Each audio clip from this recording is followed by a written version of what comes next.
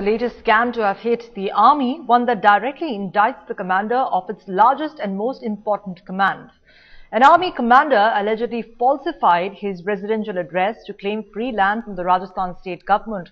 Documents available with India Today show that Lieutenant General K.T. Parnaik, who presently heads the army's Udhampur-based Northern Army Command, falsely indicated that he was a resident of Rajasthan to obtain 12 acres of agricultural land in Jaisalmer district. He allegedly furnished a false address in a sworn affidavit to take possession of land in 2010. The, the documents were obtained from the state government under the Right to Information Act by a deceased soldier's family. The family of Subedar Major Rajinder Singh Shekhawat alleges that he was harassed after his retirement for speaking out about the general's land allotment. He belonged to Lieutenant General Parnaik's Rajputana Rifles Regiment.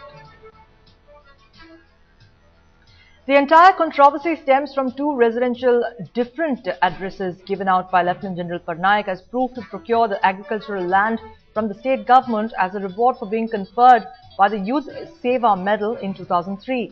In 2006, Lieutenant General Parnaik had sent an application to the Rajasthan government stating his address as 3KH6 Jawahar Nagar, Jaipur. That was the address mentioned in the Rajasthan Colonization Department's letter to Parnaik in 2009. However, the house now belongs to a businessman named P.C. Bhatia who claims that he, brought, he bought it from Parnaik's father in 2002.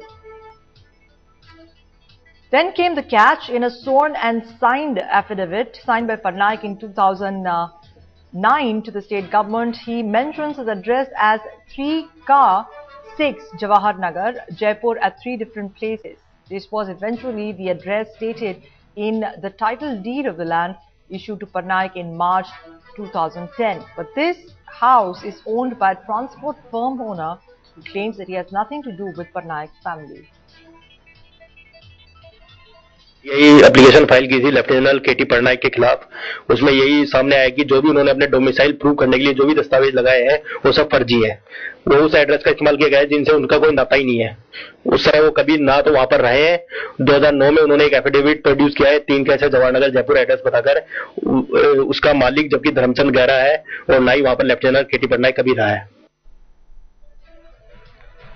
Now, Lieutenant General Parnaik insists that the change in address is a mistake was stayed because of the proforma of the application, which uh, allowed him to spell out his status clearly and claims that the statement was not meant to fool or defraud anyone.